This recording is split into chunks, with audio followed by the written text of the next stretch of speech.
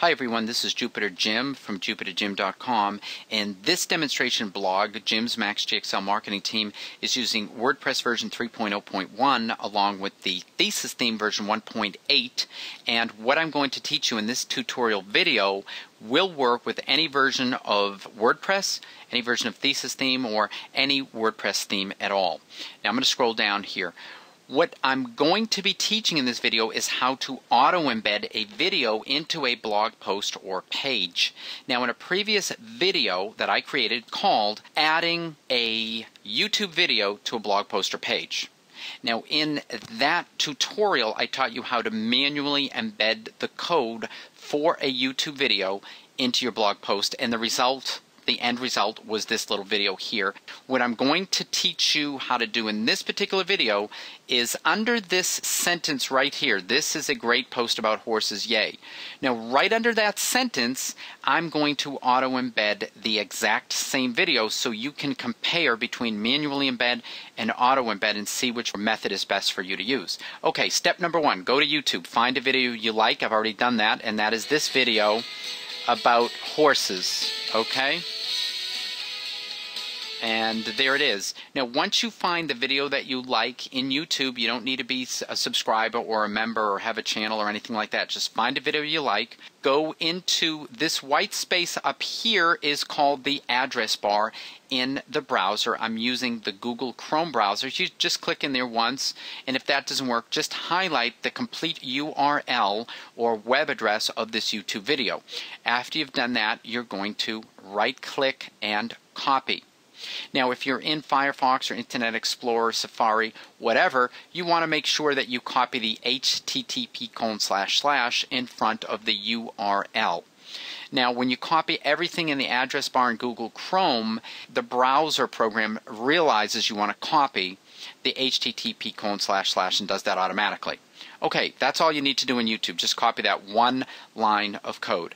Now, I'm going to click here. This brings us back into our live blog just so we can get our bearings for this tutorial. And now I'm going to click on this tab on the far left of my browser and this brings me into the dashboard of my blog, Jim's Max GXL Marketing Team, where I've already logged in. Now after you're in the dashboard, just click on Posts. Go to the post where you want to add the video, which is test post number 10 horses.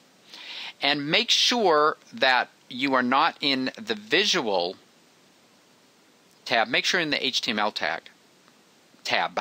Okay, now I'm going to scroll down, look for that sentence. This is a great post about horses. And I said I wanted to add the, or embed the video, auto embed the video after this line. So I'm just going to hit the enter or return key a couple of times. Now I've got the space here. I'm going to click here with my mouse, right click, and then left click on the word paste and that's all you have to do. Just paste that one line of code. So if you can copy and paste, then you can auto embed a YouTube video into your blog post or page. And that's it. I'm just going to hit update. I'm going to go back to the blog post. And right under this is a great post about horses. Right here, you're going to see the auto embedded video after I refresh or reload the page by clicking on this icon in my browser and there it is. You've got one video on on top and below. This is a great post about horses. Yay! You have the video that was auto embedded. So this gives me a chance to compare auto embedding with manually embedding. Now on below we have the auto embed. Now you don't you have a gray down here for the frame or the controls of the video. Now when you manually embed, you could choose from different colors like orange, red, blue, etc. Auto embed, you don't have that choice.